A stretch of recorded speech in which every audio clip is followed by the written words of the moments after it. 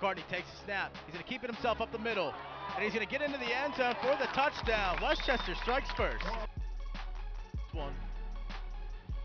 Leo's kick is up and it is blocked by California's defense. But McCartney's back under center this time. He's going to hand it off the white up the right side, and he's going to hold the ball out, and it's going to pass the goal line, and that's going to be another touchdown for West Chester. Nudo up, and it looks like it's going to be good. So California gets some points on the board now. And there's Harris again on the run. And it's going to be a touchdown now as a little extracurricular activity takes place after the play. McCartney's going to take the snap.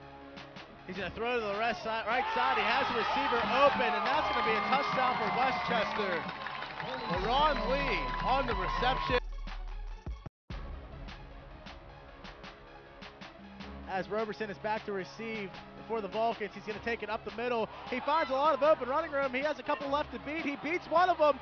He's got open green in front of him, and that's going to go back for six points.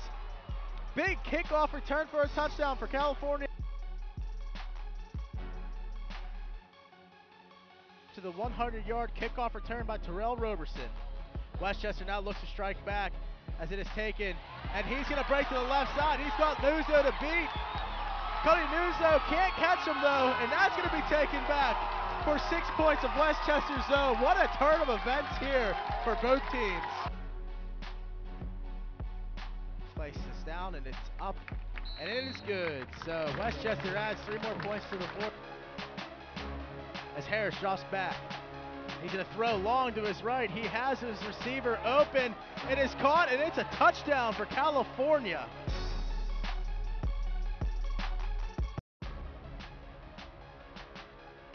He's going to keep it. Actually, he's going to hand it off to Rondell White. Rondell White is going to get in, and that gives West Chester six more points. Harris takes a snap. He's going to roll to his left. He's going to throw. And that's going to be a touchdown to Trey Johnson. Nuzo kicks. Big second bounce, as we said.